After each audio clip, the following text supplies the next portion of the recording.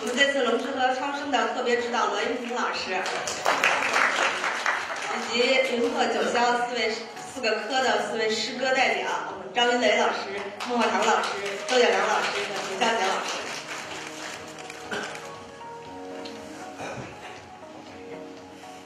我们龙字科的招生呢，将从十二月中旬开始。德云社将在抖音直播完成一个长达半年的招生，这也是德云社第一次用线上直播的方式招生。在这半年里呢，我们将会通过抖音平台上的数百场直播，完成整个龙字科学员的选拔活动。我们希望通过抖音平台的合作，能够让所有喜欢相声、想要参与的龙龙字科选拔的用户，都能够尽情的参与进来。从这个月的二十一号到二十五号，每天晚上的七点到九点，郭老师、于老师和在座的各位云客九霄的演员们，也会在我们抖音直播中和大家共同分享招生的经验和心得。为了今天官宣这一件大事，我们当然也请到了这么多位德云社的重要的嘉宾。那么接下来呢，我们有请郭老师上台，跟大家分享一下对我们这次合作的想法。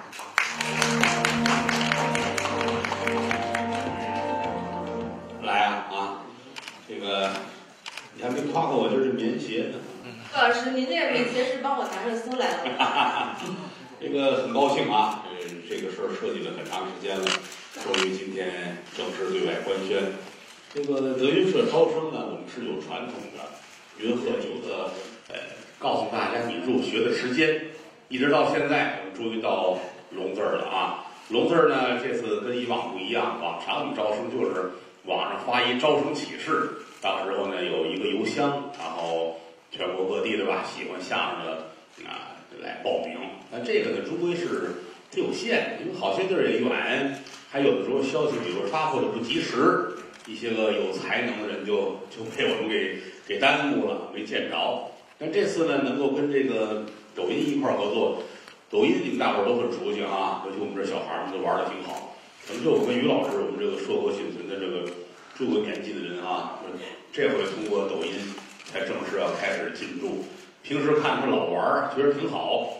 后来有时候无意中看见这个孩子们玩儿呢，我觉得这个很棒啊！就这一句话喊出去，全世界的人都能这个通过抖音跟我们取得联系，而且也确实发现，真是各式各样的千奇百怪的，有各种才能的人呢，无计其数。哎，所以说我们跟抖音这次联合推出这个招生呢，也是希望通过咱们这个大平台，让所有人都知道啊，我们相声又开始招生了。这样的话呢，呃，其实对我来说我是特别高兴，因为什么呢？可能这是我今生今世最后一次那么大规模的收徒弟了，因为再往后岁数越来越大，也未必教得过来了。之前你说是张云雷他们这会儿啊，我还能吊吊搭搭的跟着干活儿。估计再过些年，如果是让我这么弄，可能精力上也达不到了。所以这回呢，有能力的呢，您尽管来啊！招生的数量呢，越多越好啊！也许三百个、五百个、一千个，没准的事儿啊！啊，高老师乐了，他嫌少。嗯，哈哈哈当然了，我我我我亲自带，到时候这几位老师也得陪着我一块儿来，要不然一个人弄不过来，你这说相声还多好啊！这个。跟抖音一块合作呢，我们是今天正式对外官宣。刚才人家说了啊，我还头一回玩直播，我不用喊那个是吧？谢谢大哥给发游艇，不用喊。那行，别玩儿这个，哎，不知道怎么跟人客气啊。二十一号是我，二十一号是我，我首先对外来说，呃，反正我的首秀吧，这叫直播首秀啊。之后呢，陆续的这些个什么张云雷啊、孟鹤堂啊、呃吴总啊、小小小傻子什么大伙儿。啊，周永良，这都陆陆续续的吧，啊，那就时刻关注一下抖音，咱们得有时间对不对得跟人说啊，啊，就开始正式的要开始招生了。这个工作大概其得进行半年左右，啊，我们得通过好多场直播，因为这个哪儿的都有，山南的、海北的，陆陆续续的，得让人家把自己的才能完全展示出来。这样的话，一关一关，估计到明年夏天。整个的招生呢，差不多能够基本结束了，就可以安排后边教学的事儿。这对德云社来说，呃，对我们这个相声界来说，都是一个特别大的一件事情。啊，很高兴能够跟抖音一起合作啊，这太好了。这个抖音这回让我很感动啊，真是我说什么是什么，没见过这么听话的平台啊。我就随便说了一句，我说还准备拍电影了，他们就给我送钱来了啊。我早知道早跟你们说了就啊。好吧，希望咱们能够合作成功啊！也希望德云社聋子科招生啊，我们在独家在抖音招生这次事情能够圆满成功。也谢谢各位媒体的朋友们，好话多说，谢谢各位啊，谢谢谢谢。谢谢老师。我就坐这儿了啊。对对对。好嘞。那么我们这次因为来了很多媒体朋友，我们也给大家安排了提问环节，那我们就请其他的七位嘉宾也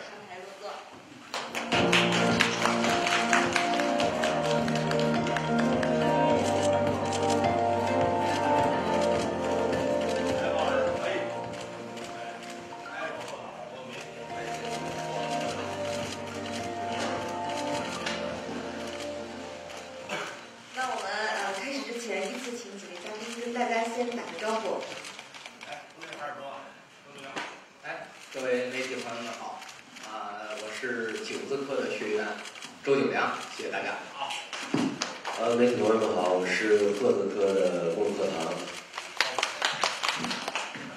大家好，我是高子科的高峰。大家好，我没字儿，我这个对，我是于谦，谢谢各位。大家好，我是德云社相声演员栾云平。大家好，我是李字科的张云雷。大家好，我是相声科的秦霄贤。好的，那我们媒体问答环节呢，大家举手示意就可以啊，可以踊跃一点。呃，第一排中间那位老师，然后帮我递一下麦，工作人员。我直接说一下，郭老师，您的这个招生的标准是？能给大家介绍一下？然后您会亲自给大家上课吗？然后您的上课形式是像这种台上台下的有教案吗？嗯好，你的第一个问题是什么？这就是提醒你们，哎，一个问完一个再说啊，这谁记得住？我有什么问题？招生的标准啊，招生标准其实很简单，第一，你得爱相声；第二，你得是说相声的材料。说你不爱相声，你就看见这个岳云鹏开大汽车了，看见张文雷上台这么些闺女坐底下叫唤了，你奔这个来的，我教不了你。你得爱相声，这才管用，这是第一啊。第二来说呢，就是您得是这材料。啊，我们这行其实很奇怪，说天下人分两种，一种是说相声材料，一种不是说相声材料。您要不是那材料，你再能努力，你把高峰累死，你也干不了这行啊。这是我们的基本要求。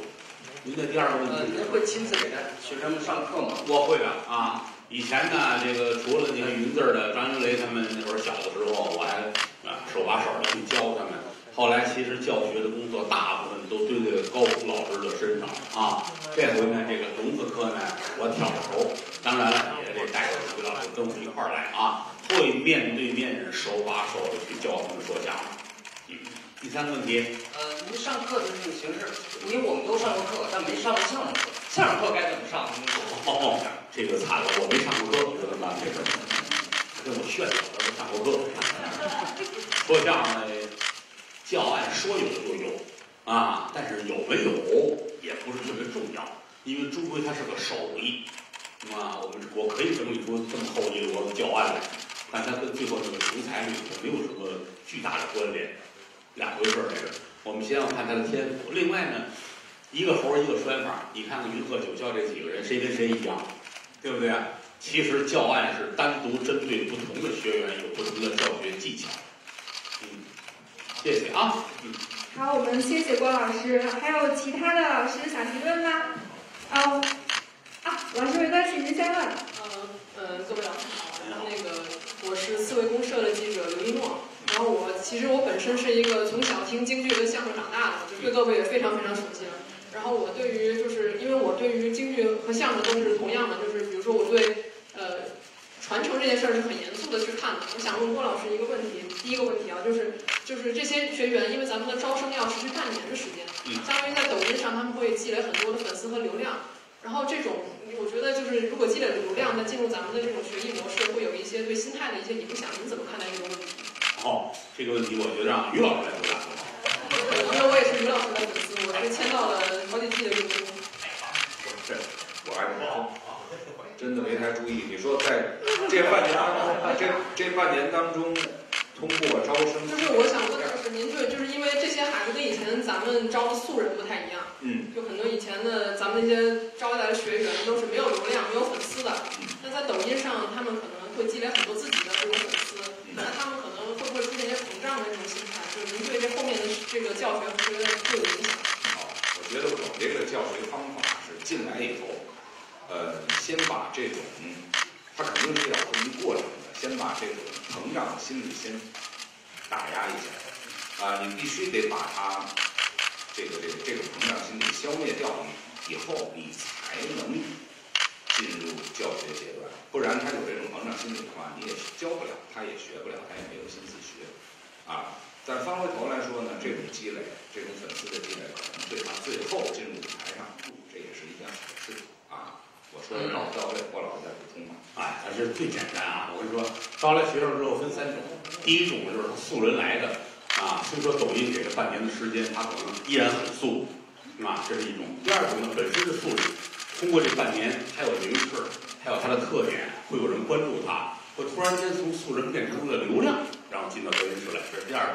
第三种来之前就是自己有流量，你比如现在就是大部分影视公司、经纪公司做艺人经纪的好多朋友，包括圈内的大部分著名演员都跟我联系了，要把孩子、要把他们那的学员、要把他们签的艺人送到这儿来。也就是说，这些人来之前他就有流量，无外乎这么三种情况。这三种情况，不管你是什么样的，只要龙子科要了你之后，一进门，是龙你得盘着，是虎你得过着，是蒜你得在醋里泡着。我不管你在外边多么惊天动地，进了这个门之后，你要守这个行业的规矩。所以说你在外面红的山崩地裂啊，你如何如何的，在我们这儿不起作用，不起作用。而且我们这儿最大特点，就这么多年了，大家都知道，一进门先打掉自尊心，不是不尊重你，打掉你的自尊心是让你尊重这个行业。因为一个人自尊心太重，私心杂念太重的话，对你的学艺这是一个最大的障碍。所以这东西对我们来说不重要。您哪怕是一个德艺双馨的艺术家，哎，九十五岁高龄的报考龙子科来了之后，一进门你也是一个素人，素的不能再素了，一丁点油都不会有，放心，好不好？嗯，得了，呃，踏实。好嘞，谢谢郭老师。来，我们下一位啊、这边吧，慢点慢点。我们第三排的这戴眼镜的这位男生，呃，我想问郭老师啊，这次咱们德云社首次用这个抖音直播招生，它这种像是这种传统文化和年轻人这种碰撞，你有什么期待，或者有什么效果？谢谢。因为相声本身是世界上最先进的一种艺术工具，啊，他可能有人一提相声，哎呀，很传统，不是的。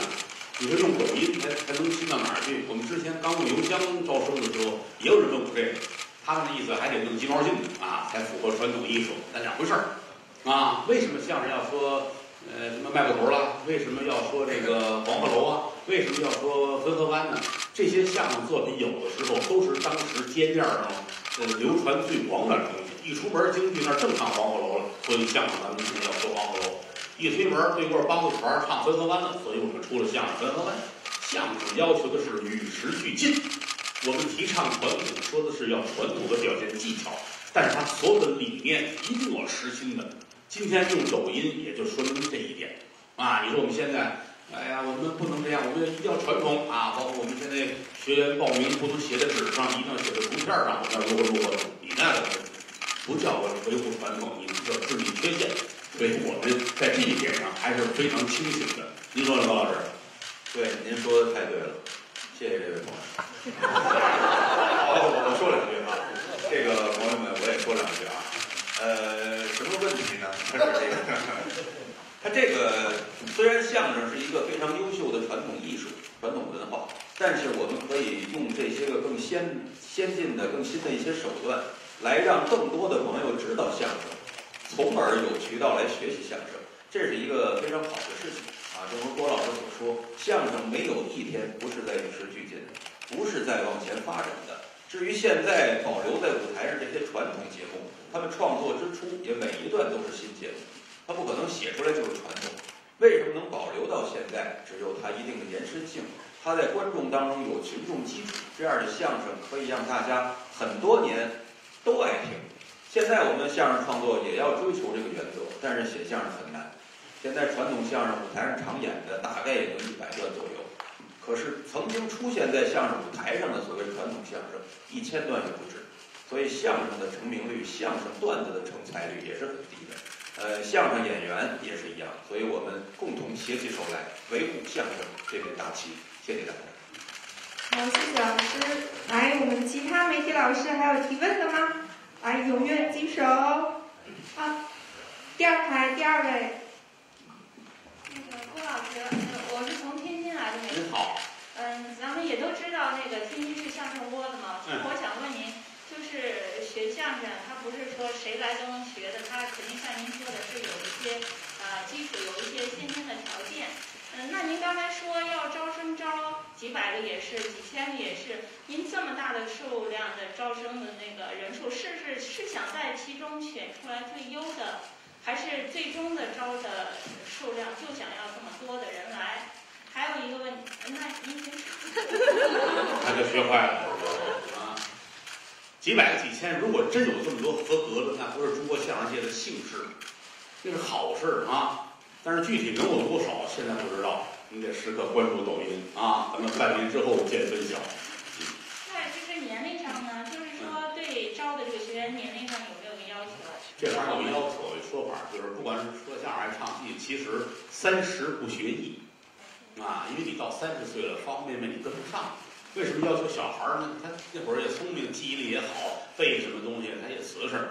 你来一个四十岁的来大哥，你让他背得背多大劲呢？是不是？所以说岁数尽量小一点。但是如果说这个真来了二十七八了，如果真真是这个材料特别的好，我们也不排除啊把它特招。就这个东西也不是完全决定死了的，你必须得呃二十几，必须得十八十几，这也不现实。咱们来得看，好不好？这都是活的。嗯。还有一个就是因为平时我们大家都刷抖音嘛，就会看到抖音上有好多就是网友自己传上来的关于德云社的这种段子。嗯。一刷起来特别耽误时间，好几个小时就过去了。您怎么看这种网友自发的把咱们德云社的这个东西传到抖音上这样的一个现象？哎，这个问题非常的好啊！来，刘老师。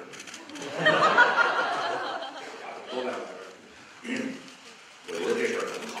啊，网友往抖音上刷呀，或者发呀，各种渠道、社交媒体、各种不管什么渠道，它发与相声有关的东西，都是有的。因为我们自认为相声目前还没有到低，啊还没有出低谷，啊还是在比较这个这个危险的状态下，还没有到它的高峰期，所以让更多的人知道还是一个特别重要的普及，还是我们亟待做的事情。所以发和相声有关的东西，让更多人知道，都是一件好事。对我们相声来讲，这个我给您举个例子啊。我们这趟街上又开了好多家饭店，色香味俱佳，对糖尿病人确实是个问题。你说这怎么解决？理解了吗？这道理是一样的，对吧？嗯，还有问题吗？您？不客气，不客气啊。好，谢谢老师。来，我们其他老师这边这个胖胖的老师吧，给他一个机会。这么说人家啊？来，这胖子。想问一下那个云课九霄味的几位老师，刚才郭老师也说，大家都是那个抖音的重度爱好者，就是平时会刷一些什么样的内容，会对什么内容更感兴趣？然后刚刚也看了那个抖音上，郭老师新注册了一个，在抖音上注册了入驻了，那未来就是会在这些账号上，呃，来做一些什么样的内容来跟粉丝之间的这个互动？嗯，好，来你们四个先聊聊呗，人先问的云鹤九霄。啊，从栾云平开始，秦王贤都准备好了，是吗？哦，是吗？好。你刚刚说什么？就是您平时在抖音上可能对什么样的内容更感兴趣一些，更喜欢刷一些什么样的？哦，平常看看什么样的抖音，对吧？对。平常就是推什么我看什么，我也不宅宅不了啊。呃，刷那个推荐是吗？对对对。有特别感兴趣的东西。什么都特别感兴趣，看嘛，都是无聊很大。就是你正好把它全打了，对，在正常你刷这种抖音的话，你平常也是无聊的情况，所以就有看。呃，云雷呢会有就是特别的这种兴趣爱好去刷什么什么样类型？其实我跟他差不多，也是刷刷的时候看什么，但是我一般看做饭的比较多，虽然我自己不会做饭。还还想去锻炼一下厨艺。对，一般都是看做饭的比较多。嗯，云平老师呢？一般我就是相声类和京剧类还有知识类的比较多，然后在里边儿看能不能学点儿东西，然后也会找一些人家录的特别好技巧性的东西，特别搞怪的我不太喜欢。好吧。我觉得抖音这个东西是一个非常神奇的一个东西，它呢就是让人爱不释手啊。晚上睡觉的时候经常是啊刷着刷着就忘了时间了。而我经常刷到的东西基本上都是喜欢的，然后还那个给推推送过来的，比如像老婆钓鱼啊，啊像什么这个收金卡啊，还是什么啊，就是喜欢什么推送什么的，还有一些跳舞的呀、唱歌的，比较喜欢这些。才艺的哈尔滨这个大厨子卖豆腐，高峰，这个我来不了解。我个人兴趣就是比较喜欢看那个干饭人，干饭人就是吃播呀，就是就是看人吃饭，我觉得特别香啊，这是其一。其二，这个就是我师傅的相声跟干爹的相声，还有很多这个片段吧，呃在北展演出的视频，我是经常刷到，呃，就是比较感兴趣。你大爷这饭饭人你看过吗？所以郭老师刚才他们说了这么多，您在做这个账号的抖音做内容的时候有什么启示，或者准备要去做一些什么样的内容？这是刚刚注册的啊啊！我还真是一沾这科学知识不了了解的，包括弄什么账号，弄什么都得我们这这帮科学家帮我弄啊。然后那天我就看了看，突然间发现有好些人关注我了啊！我一个字都没说了，就来了一大堆。三十万粉丝了，三十万，你说这哪儿合理啊？我还没玩过呢啊！我估计这个以后老得发东西呗，跟他们聊聊天什么的啊，挺好。我我之前看文艺评论老发啊，就拿这个看戏什么的啊，也挺可乐的。我就爱看底下评论，哇，这这天底下。之前我就开玩笑，我说相声的专家都在贴吧上，京剧的专家都在抖音评论里啊，也挺可乐的。我我得好好的看看做什么见没有啊，爱跟你们玩儿。嗯，谢谢您啊，一点儿都不胖啊。好嘞，谢谢老师。嗯，其他媒体老师，哎，第一排第三位老师吧，好吗？举手半天了。人家拿着来放在桌上递别人。呃，那个郭老师、于老师，高老师好，我是《光明日报》的记者。哟，那干个，我我坐一下。您请坐。哎，啊，那个我我我问题是也问几位那个师兄弟的吧。然后就是咱们这次是传统相声与这个新媒体的一个一次碰撞结合。然后我想问的是，呃，几位师兄弟在创作上有没有就是这种在这个方向上有没有什么变化？就是结合这种。来，您几人给人回答一下。创作方面是教创作方面吗？呃，是这个，就是新媒体与传统相声这种结合，咱们不是要通过这种新媒体推送，那创作有没有影响？包括内容啊、形式啊各方面的有没有什么影响？有没有什么变化？我们的创作内容吧，就是因为受众可能也会有所变化。啊，这个应该让你秦霄贤来回答啊，他就可以把这个问题啊来。秦霄贤，哎，你再来一遍，我也我确实听过。我我说过，对对，创作的方向，一个创作的方向。这个新媒体啊，有的时候这个跟这个相声确实是呃有一些碰撞啊。有的时候我们会通过这个媒体把相声宣传出去，然后比如说像抖音什么的，这个我们有的时候创作包袱也会有一些呃，比如说不要太铺的太长的这种短平快的这种小包袱，适合于抖音宣传的这种啊，它是有的时候对创作是有改变的。我们也会适应市场，然后去做一些小的包袱，然后呃记一点深一点的包袱啊，能让观众同时放在抖音上的一些包袱，会有这样的考虑。呃，还有就是也想问问郭老师，就是我们那个这种结合，就是新媒体和传统相声的结合，您觉得以后呃未来会有什么类型的合作？就是与新媒体的合作，哦，还有大概能碰撞出什么样的火花？从二十年前最早德的时候，那会儿我觉得我几乎等于不会上网啊，好多人现场录完了开始传声音，后来传视频。你说在网上啊，当时那会儿真不懂啊，什么叫上网，就是泛泛之宝啊。后来之后就逐渐的了解了啊，我就觉得人脑子是要进步的啊，这个不可以轻视这些。你老那个我得那样，这不行。当然了，你墨守成规，活得会很舒服一些，但是会跟时代脱节。所以一步一步走到今天，包括这次跟抖音在一起合作，其实就是这么一个状态啊。抖音现在很火，短视频啊，有有时候我也研究，抖音为什么它会这么火？它也不做内容。你看他不做内容，他就这么火，这是他多灵的地方。你要做内容的话，你这脑子就走大了，你得琢磨。他把内容这块推给观众了，你自个儿玩吧。我提供一巨大的平台，这个东西说的是简单，但你能想到这就不容易。把它再能做好，这个是需要方方面面的能力和条件啊。所以我们合在一块儿吧，我觉得也算是一个强强联合啊。看中他短视频的特长。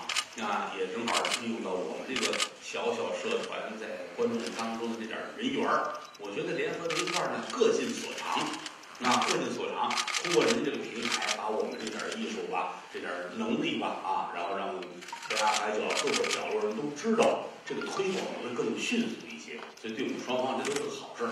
那至于再往后，那时代发展，社会在进步，走一步说一步，反正不能让社会给你落下就是了。您说的，嗯，谢谢您啊。